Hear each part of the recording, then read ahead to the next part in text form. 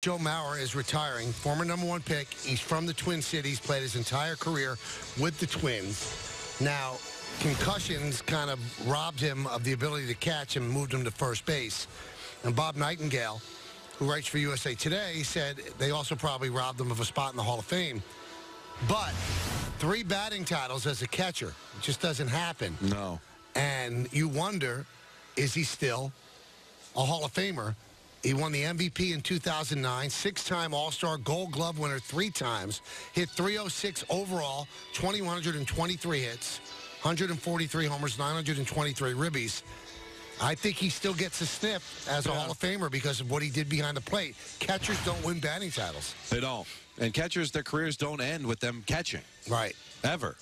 You know, so they either play first or sometimes third, or they DH if it's the American League. It's it's you know, it's going to happen to Buster Posey. It's going to happen to Gary Sanchez. These guys putting up numbers at the catching position for as long as like a Posey did it or Mauer. It's just amazing.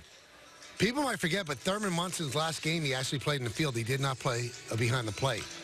And uh, that was probably going to be his future as Yeah. well. And uh, Mauer gets to do something not many people get to do play for one team and call his shot.